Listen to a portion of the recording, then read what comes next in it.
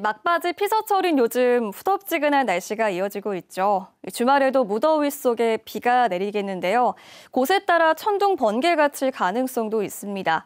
내일도 기압골의 영향으로 흐리고 비가 내렸다 그치기를 반복하겠습니다. 지역별로 강수량의 차이가 있겠는데요. 내일은 10에서 60mm의 비가 내릴 것으로 예상됩니다. 일요일은 대체로 맑은 날씨를 보이겠고요. 대기 불안정으로 낮에 5에서 20mm의 소나기가 오는 곳이 있겠습니다.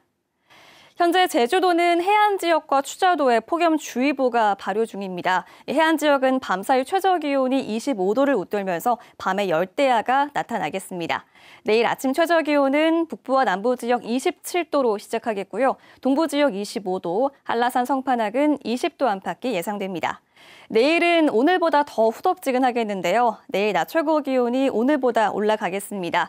북부와 남부 지역 32도까지 오르겠고요. 서부와 동부 지역 31도, 성판악은 25도까지 오르겠습니다. 내일까지 제주도 해상에 비가 내리고 벼락이 치는 곳이 있겠습니다. 항해하거나 조업하는 선박은 유의하시기 바랍니다. 다음 주는 대체로 흐리고 전국에 반가운 비 소식이 있는데요.